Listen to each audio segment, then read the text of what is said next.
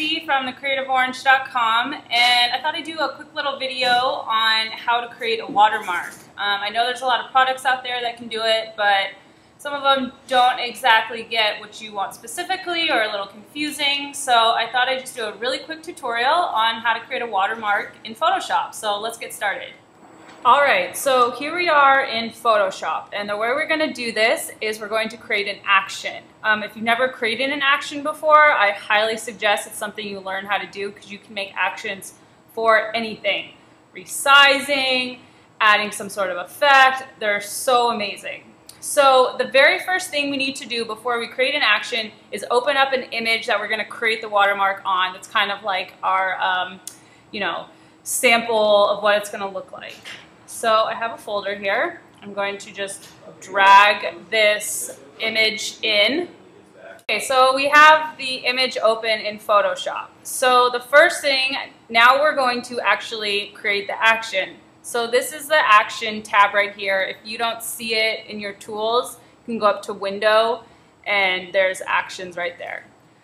So we're going to click this little paper with the fold to create a new one. It's going to access what we want to name it. I'll just call it H2O because I'm woody like that. And hit record. So now Photoshop is recording everything that you do into this action. So with our watermarks, I just like to create a basic uh, band with the opacity down and our logo on it. Very simple. Not too big, not too small, not over the person's face. We don't want that. So I'm going to select the re rectangle tool here um, and make sure you select the color you want it. This is our color right here. It's very faint pink. So I'm going to select that. And then I'm going to just draw a rectangle like so. Do that, hit enter to set it. You can see right here, H2O mark, everything that we've done so far. Now I'm going to take the opacity down on it so it's not so bright. You can see through it. I'm going to set it at 30%. Also hit enter so it sets it. And then what I'm going to do is put our logo on it. Now you can't just open up your logo and drag it on there. It won't work. You have to place it in the photo. So you go up to File, Place, and then you just search for your logo. Um, and another thing to remember is you're going to want a PNG so you can see through things. So it's not just a big white blob block on your rectangle. So we're going to hit place and there is our logo. So I'm just going to drag it right where I want it. Hit enter to put it in there. Maybe make it a little bit bigger. Like so. Perfect. Okay. So now we have that.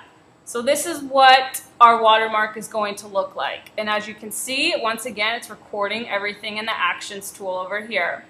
Um, most of the time when you create a watermark on an image, it's going to be going on the web. So I need to resize it. It's better to do this all at once and having to go do the watermark and then opening up the image to resize it. So I'm going to go to Image, Image Size, I'll make this around 700 pixels high. Hit OK. There we go. It's resized. And now I want to save as. So I'm saving as, and I'm going to put it in the watermark folder that I've created as a JPEG. Don't want it as a PSD.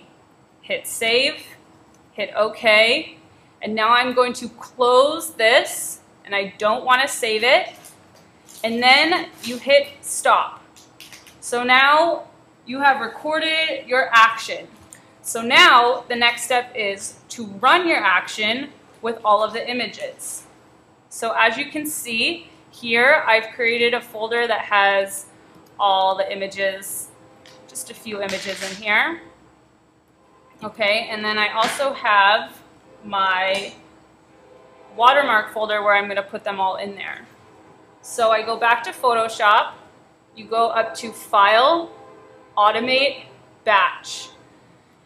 And you go up to Action here. You find your action that you made. We call it H2O mark, so I'll make sure that's selected. And then you need to select your source folder, so where it's pulling the images from.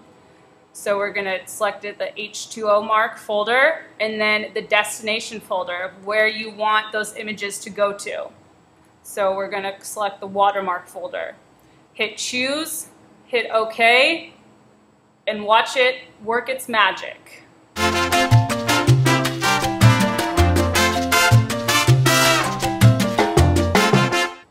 Okay, so Photoshop has done its thing, and now we have all these images with our lovely watermark on them. And they are ready to go on Facebook for these seniors to share and share so then all their friends come to our studio as well. So it's really, really easy, just a quick way to get your watermark on there so it's not, it's exactly what you wanted. So check out more videos, creativeorange.com. Thanks.